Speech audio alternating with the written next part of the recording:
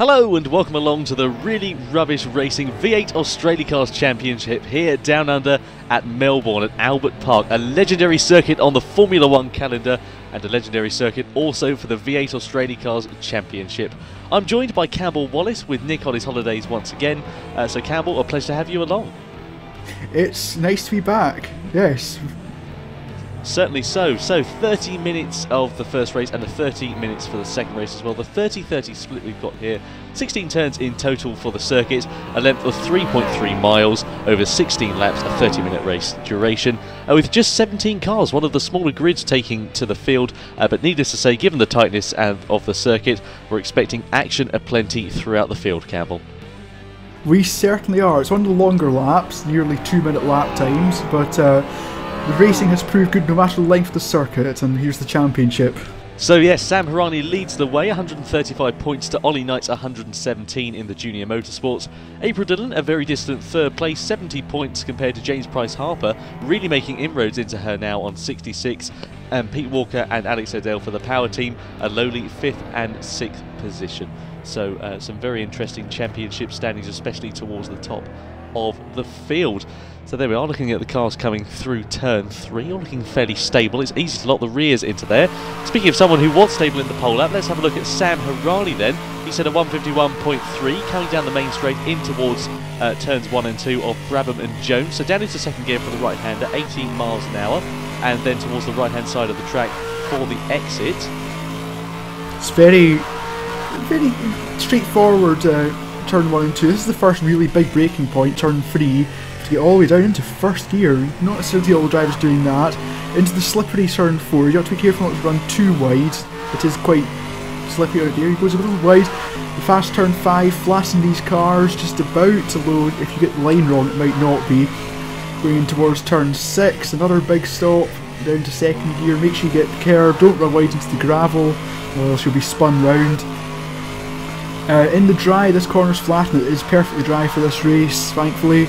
Uh, down into turn 9 10, another chicane, right left. And then coming on towards the interesting part of the lap, turns 11 and 12. Very interesting corners. Um, so he wanted Exactly. So uh, a minor lift and perhaps a change down on the gearbox we'll see Hirani do. So flat out then 145 miles an hour. Changes down into third position. Clips the apex on the left and then through the right hander as well. Using all the Perfect. track. Absolutely great line through there. And then in towards the final part of the lap. Down into turn 13 of Ascari then. Spot the braking point. The yellow marker on the, also the orange marker on the left hand side of the screen. 68 miles an hour through there. Up the box into third once again. And a minor lift through there taking a lot of curve on the inside. That unsettles the car just a tad. Not going to compromise his time though is Hirani into this very very difficult uh, left-hander of Prost for turn 15 and then turn 16 rounds off the lap. Very difficult to get onto the power especially in these 600 horsepower monsters.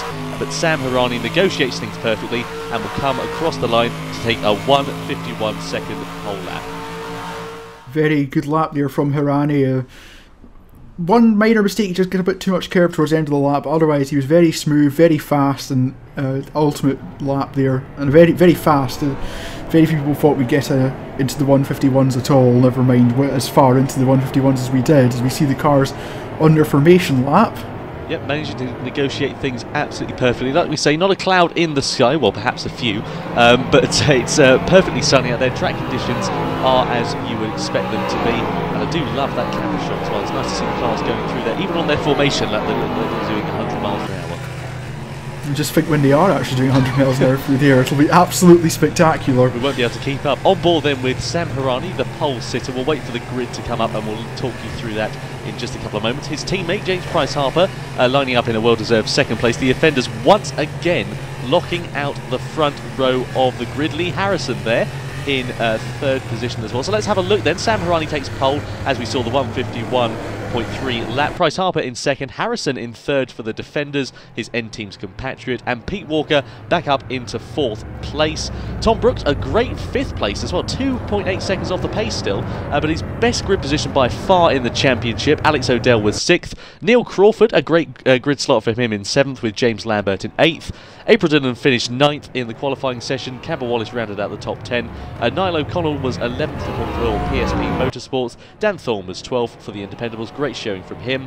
And then further back, Tom Kowalski in 13th, Dave Morley in 14th, uh, with Ben Hamilton 15th, Rob Kobe for Howler Racing. He lines up in 16th position, some 6 seconds off the pace. And then Matt Davies, the final entrant for PSP Motorsports, 6.836 seconds off the pace, and rounding out the grid slot here sort of standing start for this race as it is for the half hour races and I think the lights are just about to come on. They are indeed, so three red lights, now four and five. Hirani on the left, Price Harper It's a jump start oh, jump start from, uh, well, I think that might be Crawford or Wallis, one of the two. PSP Motorsports, Niall O'Connell not managing to get away well. Needless to say, Hirani streaks away at the front of the field, and Price Harper getting swallowed up by Lee Harrison. Also, Pete Walker looking to make a move. Bit of contact between the two. Price Harper off at turn one. Lee Harrison spinning round as well, and that's Pete Walker for the power team. Also off a great fourth position grid slot, but going to pot for him there as well. And also Niall O'Connell going into the back of him now. Price Harper seriously under pressure from James Lambert, who's looking around the outside in towards turn three. A very difficult corner.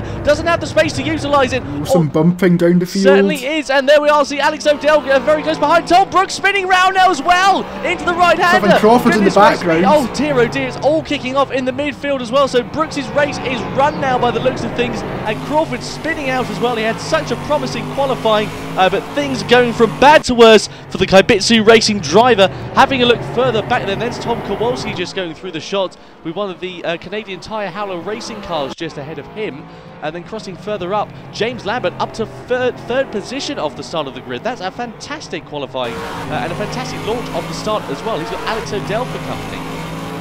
Yeah, so adventurous start, several cars going round, lots of contact being made in the early corners, and it's wiped out the entire second row of the grid. It's given Lambert and Odell a great chance of getting a podium here. They're well clear of the chasing pack, which I think is led by Dan Thorne, indeed it is, and he's just going a little bit wide at turn 11 under huge pressure there from Wallis behind, and Dillon, I think, behind them. Look at this, three wide then on the straight, coming down uh, towards turn 13 of Ascari. Not quite three wide now. Wallis got the whole shot on Dan Thorne, but Dan Thorne then are down to sixth place. Wallis up into fifth. Great start there for the Kybitsu driver, the number 64. Dan Thorne, though, looking to get the position back. He's certainly got some strong pace. Dillon goes a bit wide out of turn 14 and has got Tom Kowalski for company now as well, who easily manages to negotiate his way around the outside. And also Rob Covey, her teammate, uh, looking to get things done. Kowalski uh, didn't manage to get the pass completed, though, as April Dillon spins out of the final corner. It's Rob Covey, it's, I it's Covey. yeah, I think, it, I think it was Covey who was running with uh, Foreign Walls earlier on.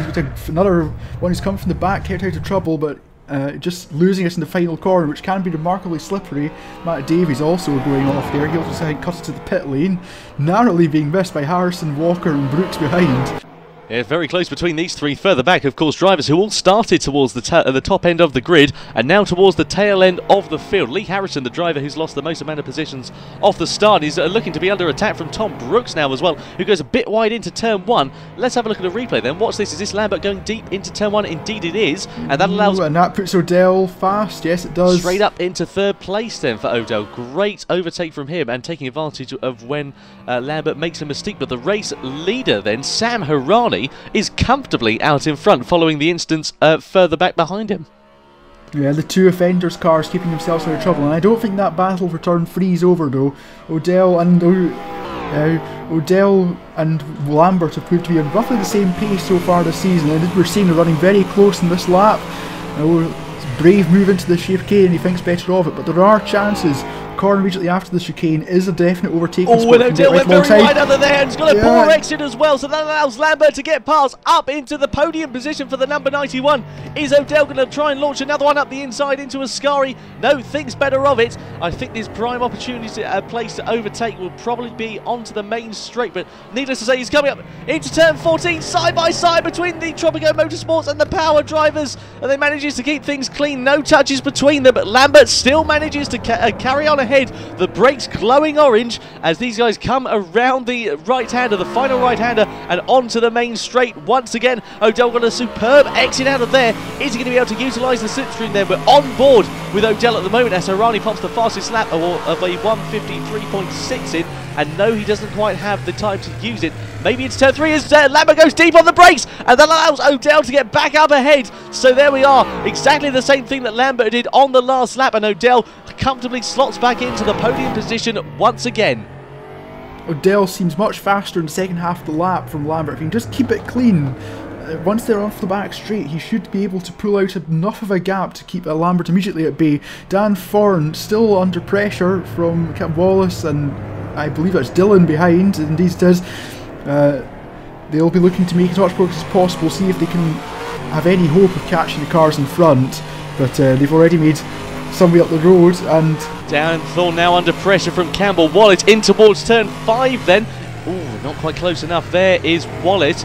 Uh, needless to say, actually, Dan Thorne's pace is supreme as well. He's had a really rough start to the season. Uh, no point, oh sorry, two points on the board rather. He has got, uh, but he has not managed to score anything other than that. Has retired pretty much at every round aside from that. So running up in fifth place, a great showing from the Independables driver and demonstrating that he most certainly has some pace uh, and can use it when needs be. Then, and that's Dillon then harassing Wallis now uh, for position. Then they are on the straight. Um, Dillon is in Wallis's slipstream coming into towards turn 11 and 12. It's very much one at a time through there. It's a very Dan Dare move if you can launch one up the inside.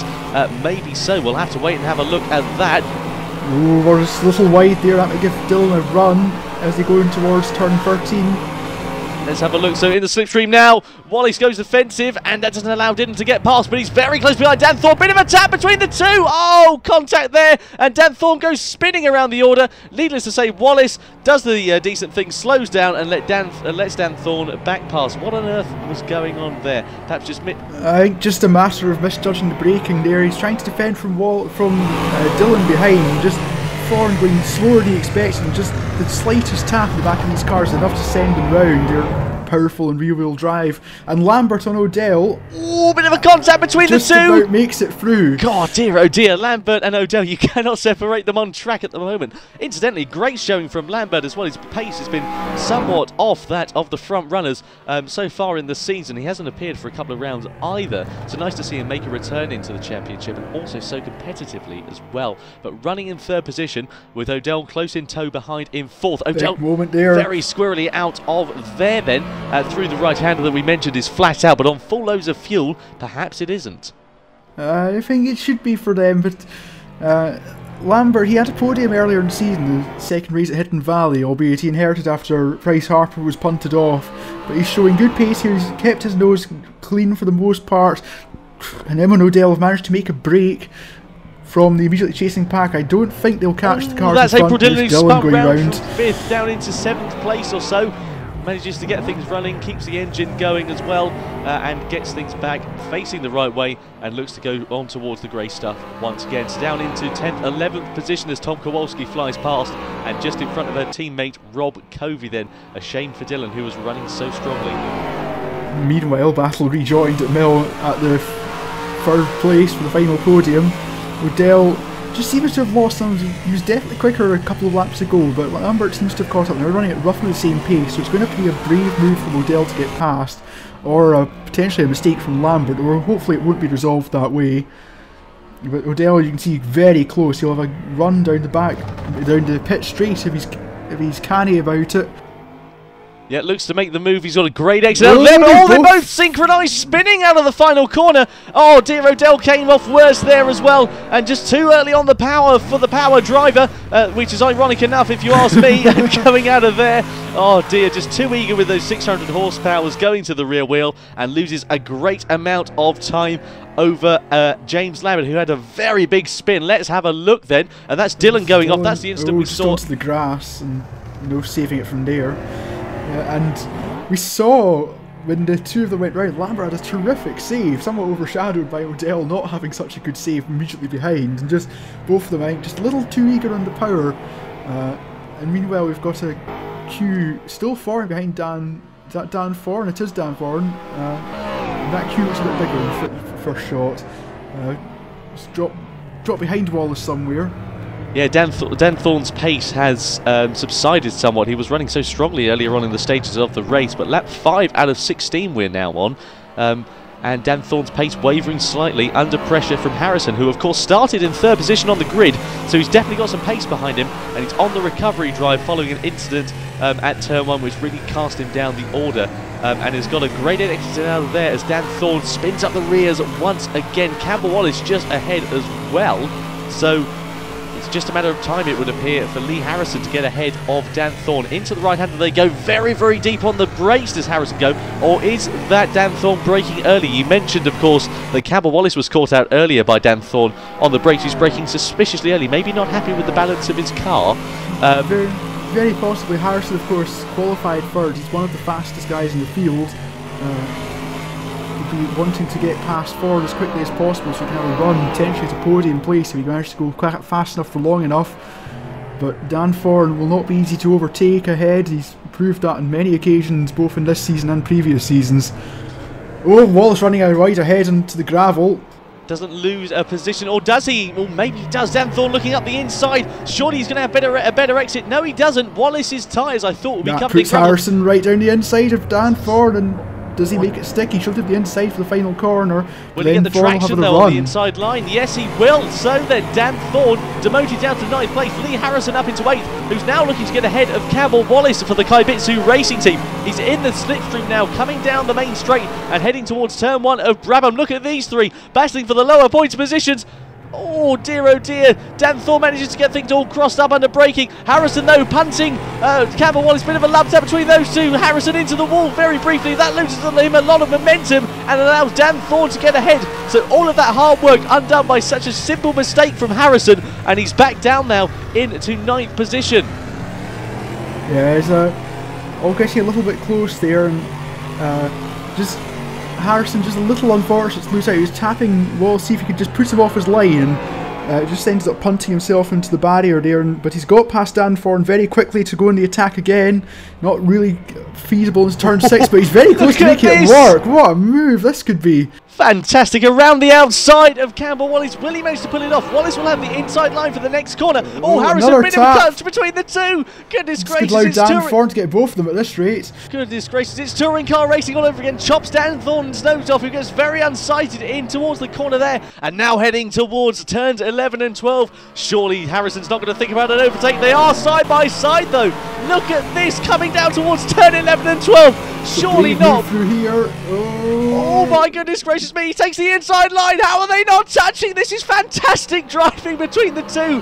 Demonstrating their skill. Harrison still in the slipstream of Wallis. Coming down then towards Ascari of turn 13. Wallis goes defensive. Harrison goes towards the outside. Is he going to be able to make the move stick? No, he's not. Campbell Wallis punts him wide and manages to use all the road and submission. Dan Thorne getting a bit crossed up there. I've got no voice left. And goodness gracious me. Oh, what a what drama between these guys in the field. It's like they're battling for a championship. It's unbelievable.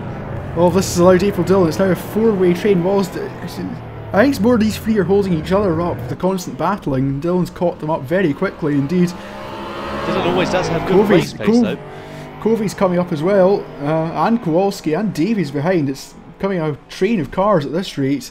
Uh, these four battling so hard, and April Dillon having a look at Dan Thorne. I think just a little too far to make the move stick, but we'll see in the next shot. Uh, and also Harrison. And ahead, yep, Harrison challenging. Walls goes defensive. But, but Harrison looks up the inside in towards turn three. Not quite close enough. They're, they're under braking. It's a bit of a lock up in the background of the shot. Uh, Dan Thorne still managing to defend from April Dillon through the, the left hander they go and in towards the right of turn 5 then. It's very much as it was at the start of the lap so far, but Campbell Wallis, it literally is probably only a matter of time. His uh, pace at the moment is somewhat waning, goes a bit wide in towards turn 6 and 7.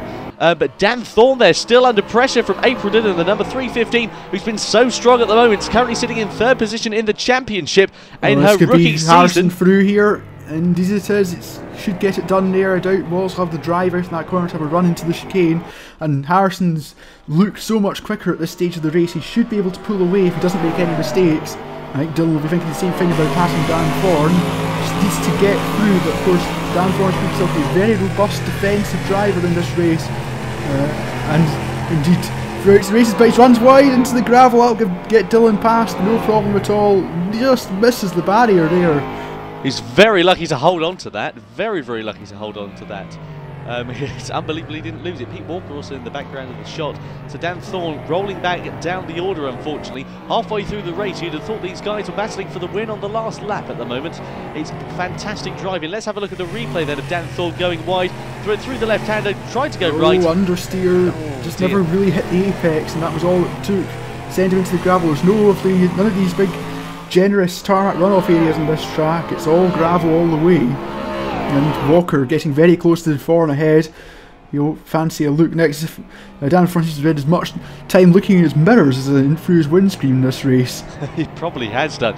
So Pete Walker there currently in 11th place. So the final uh, top 10 position is what Dan Thorne is currently holding, but not for long by the looks of things. Pete Walker in the slipstream heading down then towards turn three. He's not quite close enough, or is he? Launches one up the inside. That's a late lunge if he can pull it off. Dan Thorne though squares off the apex, goes a bit deep. And uh, Dan, uh, Thorne does manage to carry on maintaining the position, uh, but needless to say, Walker has got so much better traction through there into turn five. They go, and he's really on the bumper of him now, coming down towards turn six. Oh my goodness gracious me! It's fantastic drama between this lot, breaking then into turn six and seven. Walker almost all over the gearbox of Dan Thorne, the Independables driver, heading backwards down the field. Unfortunate for him. Needless to say, if he can carry things on, he'll pick up a couple of points still, which would be a well-deserved Walker on the inside. This is what he needs to do. He just needs to keep it as close as possible through 5, 6 and 7. There's not really a move on there. Well, that's Wallis has spun in the background.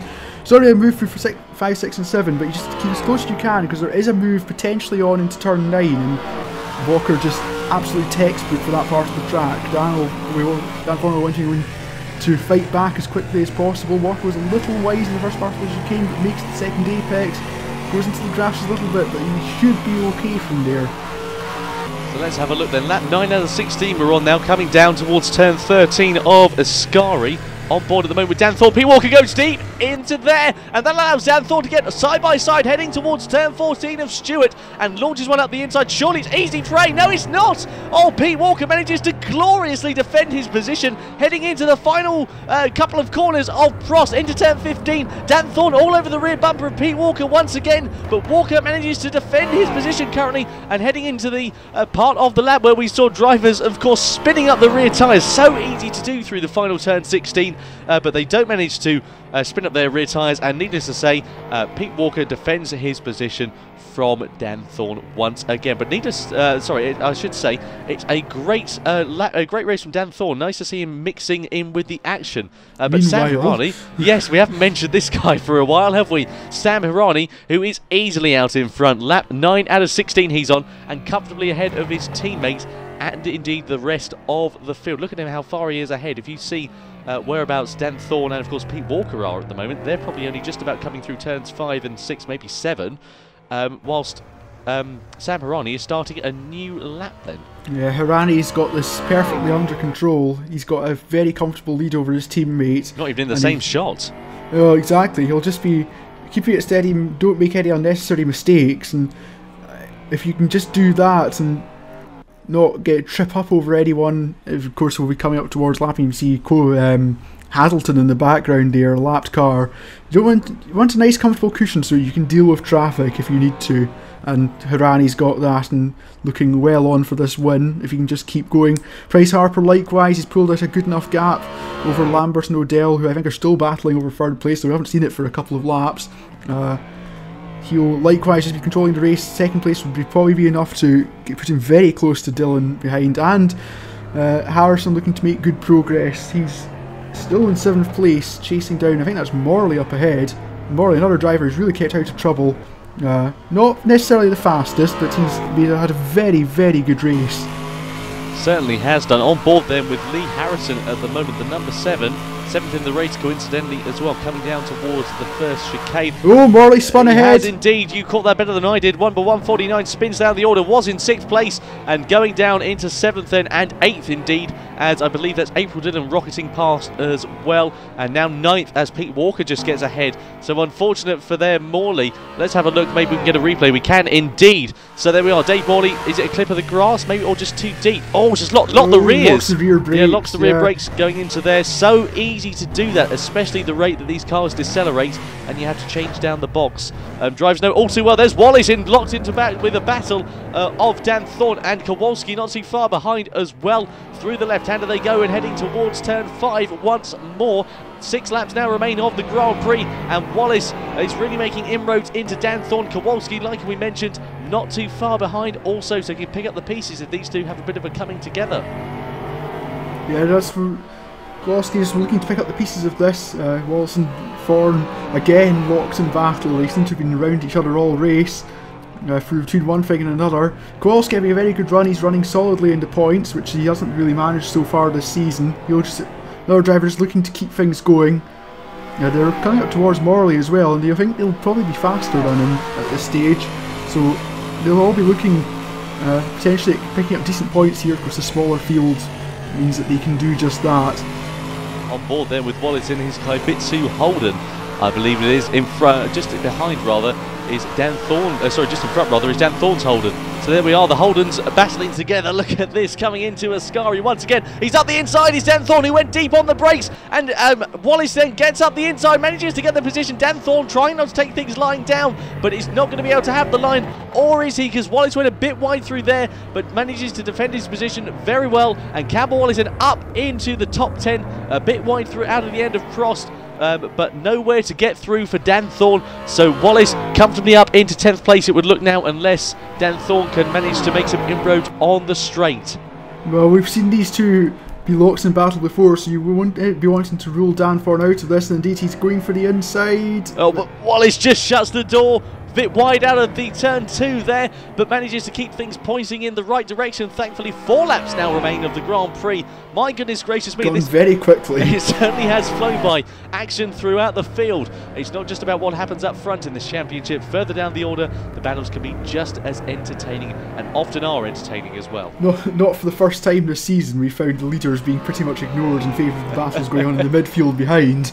Uh, just a shout to Tom Kowalski, who we're looking at at the moment as well, comfortably up in 12th place. Uh, the gap between himself and Brooks in 13th is quite marginal. Uh, so it's a good showing from Kowalski, who's certainly got some pace. He's very close behind uh, Dan Thorne. So Dan Thorne could be relegated to just scoring one point at the moment. Um, so very interesting to see how things progress there. But Kowalski, he's had a bit of a torrid debut in the uh, championship so far, uh, but is comfortably uh, comfortable with his pace and looks to be at one with the car at the moment, which is great to see for the Team Atom driver. Walker and Morley just ahead. Morley seemingly struggling with the pace. Now he's fallen into the chasing pack after that spin. Uh, he was running so so well. It's a great shame he had that spin there. And oh, he's just doesn't have the drive coming out of the hairpin, just lack the speed, and that allows Walker through before he even gets turn 13. Walker just so much faster in that part of the circuit at that time.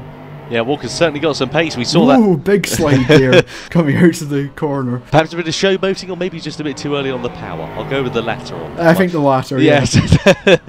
uh, but Dave Morley, to credit where it's due, though, he's still having a very good run. Uh, but Campbell Wallis still not too far behind, actually. Sam Hirani's gap then to James Price Harper, 20 seconds. Incidentally, Price Harper's gap to James Lambert, also 20 seconds. Fantastic amount of time through there. Um, and down towards the end of the top 10, Pete Walker in 8th, who we were looking at. Uh, Dave Morley in 9th, Campbell Wallis in 10th, who's a minute and 21 seconds uh, behind the leading group of this lot. Um, so I would say with a few more laps, they'd probably be coming up to lap these guys, but I don't think that's going to happen um, with this 30 minute race at the moment. No, it's a long lap, and of course, this being the two 30 minute races, it's a reverse grid pole to play for. It's currently in the hands of Walker in 8th place, who would, if it finished now, find himself on pole. He's just pulling away from Morley, who's starting to fall into the clutches of Wallis and Thorne behind. Uh, he'll be wanting to stem the flow, as it were, and Wallis will wanting past to try and challenge for the reverse grid pole, which could be so, so valuable, potentially a big result if any of these guys can get it. And Morley spins at turn six, just to get the inside of the inside curb, and that was enough to send the back around. Kowalski just misses him. That was very lucky for Kowalski to miss him there because they could be both trundling back to the pit lane with some major damage, uh, but nothing done, I don't believe, just a bit of uh, gravel on the tyres. Let's have a look at the incident then from Kowalski's point of view. Um, and Ooh, look just at this. in the break. Oh, Oh dear, oh dear. I bet they've been having kittens in there, probably Morley as well for that matter. Uh, but uh, let's have a look then. The battle for third position still ensues onwards. We um, cut away from it earlier on and we resume the action with three laps now remaining. Lambert still holds up third place. Alex Odell in fourth. That's Ben Hamilton in the background of the shot, who's a lap down, I believe, on the proceedings. Um, or is he indeed? That'd be Yeah, he he will be because uh, he uh, he Mark came up as around 15 from the last that'll why position display. Uh, Odell again faster at this stage of the race. Oh, a bit on Lambert has grass. kept it clean, and, but Odell seems to be so much faster at this stage. Lambert's got a job in his hands to keep him behind. Just has needs to keep it calm, not make any mistakes, no no unnecessary spins. 'cause that would be the worst way to throw the po- podium away. Uh, Odell just needs to put the pressure on, hope for an opening somewhere. There are, we've seen time and again in this race that are, you can overtake on this track. He just needs to bide his time and wait for the opportunity. It's not really on where they are at turn six. Turn nine, a couple of corners down the road, it's the next big stop. Probably was is going on to say there. Odell got a very good exit out of there, and he was right up the bumper of James Lambert, then coming down in towards turn nine of Clark. Um, turns nine and ten, in fact. Lambert going defensive. Lake on the right hand side, they won't be touching that at the moment. They are touching each other's bumpers. This is fantastic racing between the two. So James Lambert and Alex Odell going head to head for third position in the closing stages of this race. Odell up the inside, maybe in towards turn 11. I don't think he's going to have the drive or the track position at the moment. No, indeed, he does not. So Lambert maintains uh, third position for a moment, if not just for a minute, because look at this Odell up against the wall around the outside, heading in towards Ascari once again. Goodness gracious me, I can't, I can't comprehend the action that's going on between this lot. It is fantastic racing, maybe around the outside. I don't think he's going to have the traction out of there, and uh, Lambert manages to maintain his track position through the right hander. They go. Oh dear, oh dear. Lambert is driving supremely well, and his defensive um, actions cannot be taken into question. They are superb. He's positioning his car exactly where Odell does not want it to be. He rather his car was there so he could launch a move up the inside. Coming on to the straight again, then for the 14th time for this lot. Uh, Hirani comfortably out in front, over 40 seconds ahead of the third place duo at the moment. Odell going toward the outside as um, Lambert goes defensive into turns one and two, but he's got a great run out of there. Heading down the straight once more towards turn three. He's all over his all rim. over him, trying left and right. Get- look, Lambert's got such good traction out of these slow corners, it's proving to be almost impossible to overtake at this stage. Uh, as Covey going wide, getting out of the way. I think he's a lap down now. Uh, Odell just needs to try and force a mistake, force him wide, because that's all he'll take. But Lambert driving absolutely perfectly, parking his car the apex, getting good drive out the corners, and really that's all he needs to do. It doesn't matter that he's, even if he was four seconds a lap down in the leaders, as long as he keeps Odell behind, and however he does it. Exactly, and you can see Odell absolutely pressing on with every intent uh, to get past. He's getting the, the backside of the car out in pretty much every corner. These slow speed corners um, are so difficult to get the power down in these cars. Like we mentioned, 600 horsepower going to the rear wheels um, and pretty minimal downforce at that point before the aero kicks in on straights such as this. Um, and it's very easy to just spin up the rear wheels in second or third gear um, and spin the car out. But Lambert doing a superb job, as is Odell. But Odell ever closer through the, the left and the right hander of turns 11 and Lambert's 12. ready to go defensive here. He certainly is and does indeed so, but uh, Odell all over his gearbox tries to slam a dummy up the outside, doesn't manage to get the move stuck, and um, oh, Lambert gets a slide. bit That could give sideways. Odell a chance. He certainly could do. He's going to have the line in towards turn 15, but it isn't side on at the moment. Oh my goodness gracious me. It's all kicking off with two laps now remaining. Odell looking towards the outside. They're side by side through there. He's not going to have the track position as um, Lambert goes deep into the corner and uh, squares off his line once again. So the final podium position at the moment, it is cracking racing between these two. Yeah, Odell just needs to be a little bit more circumspect about his positioning there. There's no way through at the second to last corner, and in doing trying to get force his way through, didn't give himself a run where he could have had a go into turn one. He'd just gone through, and he's still a couple of car lengths behind and run to turn three. Lambert will be quite comfortable, I think. Uh, he's good in the brakes, he's good in the power, and indeed he doesn't go defensive. Odell just he's faster. He just needs to wait until and get close before the big braking zones because there are a few on this track, but the second last corner was not one of them. Certainly is not. So, Lambert doing everything he can to defend from Alex Odell at the moment. My goodness gracious me. Uh, if this is what the second race is going to be like, I tell you what, we're in for a cracking treat. So do uh, join us for race two as well. We're really looking forward to your company there. An equally long race, 16 laps and 30 minutes as well. We're into the closing stages of race one. Sam Hirani then starts the final laps for the um, offenders and offenders 1-2 currently uh, with who will be on the podium in third place then will it be the Tropico Motorsports car of James Lambert or will it be the man we're on board with at the moment Alex Odell for power in fourth currently? It looks to be in Lambert's favour if he can manage to keep Odell behind him. No he can't well I mean no he can't. He might not be able to onto the final lap. My goodness gracious Uh, Odell's got a very good run. Out of the chicane. Lambert will need to go ultra defensive, and even then, Odell might have the traction around the outside. So they go down into turn 13. Lambert was very defensive. Oh, Odell, oh, big slide there. But he's got such, he's got the speed where he could still have a run into turn one if he's just quick through these final few corners of the lap as they go into lap 16 of 16. He's only got a few more chances left to get past as Crawford goes wide. That allows Harrison through into around fifth position. Uh, not really seen much from either of them since they've got out of their respective battles, but Norwich drivers have largely kept their noses clean after uh, some incidents at the start. Let's have a look then on board with Lee Harrison then and Crawford just locked the brakes going into there and so easy to do in these cars. Probably needs to move his brake bias a bit further rearward so that doesn't happen again. Uh, but the battle for third position on the, their final lap now ensues on. So for the final time they go through turns one and two and heading towards turn three. Odell driving with all his might and Lambert doing all he can to defend. In they go and Lambert has the line and manages to maintain the place for the moment. The Blake brakes glowing red. The action is red hot as well because look at this. Is all over Lambert's bumper through turn five. Now they go um, and Odell has got a great run out of there, maybe looking up the inside in towards turn 6 and 7 of the chicane. No, Lambert defends the position once again, goes a bit wide through there, that allows Odell to get side by side. Now coming down towards the chicane of turns 10 and 9 and 10, they're side by side coming down now, and surely Odell's going to get the place. If he goes off deep on the brakes, that'll allow Lambert to get up, but no, he doesn't. Clips the apex very nicely. Odell spins it round. Oh my goodness gracious me. From third position, Alex Odell spins it round. But Sam Hirani, the dominant race force, he takes the victory here down under at Albert Park. And the number one on his car and number one in the race as well. But uh, Alex Odell then, who's now currently got Tom Brooks for company as well. I think Tom Brooks... Absolutely, absolutely devastating for Odell. He got the move done. It was a fantastic move as well, round the outside of turn 7.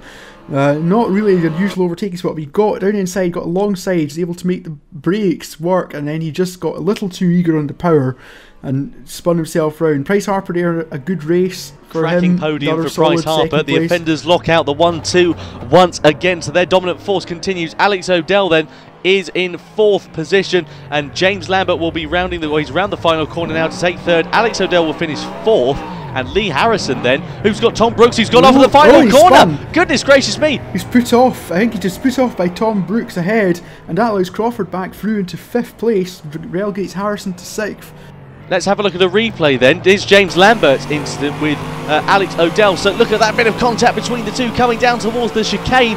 Odell going through there and he just lit up the rear tyres far too soon. There it is, too eager on the power and that cemented third position for James Lambert. Here's the replay then of Harrison and it's Brooks recovering from a spin and didn't there was no contact between the two but just No, he just just. I think he just got spooked by the by the car on the outside and just put his foot down in the throttle, and that was just enough to spin him round and give up fifth place right in the second to last. So the race results then, Uh, Sam Hirani takes the victory. 13 minutes and 49 seconds into the race duration, another 20 points on the board. Uh, James Price Harper was second, James Lambert in third, Alex Odell fourth, Neil Crawford finished fifth, uh, Lee Harrison was sixth for the offenders after that penultimate corner incident. Um, and also a name we haven't mentioned, Ollie Knight, he's not racing um, this weekend, so he will obviously not be on the board, and that will allow um, Hirani's championship lead to increase. The final guys who didn't score a point Ben Hazelton, Tom Brooks, Rob Covey, and Matt Davies. But for the championship, then, this allows uh, Sam Hirani to increase his lead 155 points over Ollie Knight's 117. James Price Harper there is third on 78 with 81 points. Um, and April Dillon now down to fourth on 76 points. So it's all hotting up in the championship. Uh, Neil Crawford goes up to 13th position ahead of Campbell Wallis. They were the other time, uh, other way around uh, last time out at.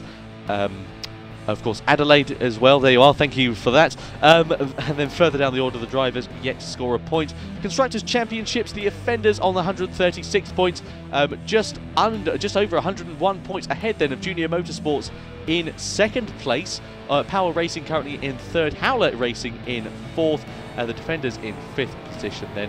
And drivers yet, or teams yet to score a point. Fire Cruiser Racing Team and the Interceptors in 17th and last place. Let's start with the highlights then very messy start there. So I think it was Dillon jumped the start, wreaked chaos behind, and the first few corners were just absolute carnage as cars went everywhere. And we saw uh, the drivers who kept out of trouble there were the top four. The two offenders cars, Lambert and Odell, and they ultimately locked out the top four positions. And Shout out to guys like Neil Crawford as well, who managed to keep their noses clean after a messy first lap and got very good results as a result. And this battle on track, of course, Lee Harrison, uh, Dan Thorne, and Campbell Wallis. We talked about it for a large majority of the race. No, nothing taken away from Pete Walker as well, who managed to get ahead of uh, um, Dan Thorne in the final. Reverse grid pole, of course, for Walker finishing. Of course, eighth. there we go. So that could be interesting for the power driver. Um, and this one, of course, this was the all-deciding incident for the podium position. Alex Odell just too eager on the power, and that allowed. Um, uh, that allowed Lee Harrison, uh, sorry, uh, Lee Harrison, James Lambert to take the final podium position, but Sam Hirani then uh, took the victory. The number one for the offenders continues his dominant force in the championship. Hope you can join us for race two here at Albert Park in a few moments.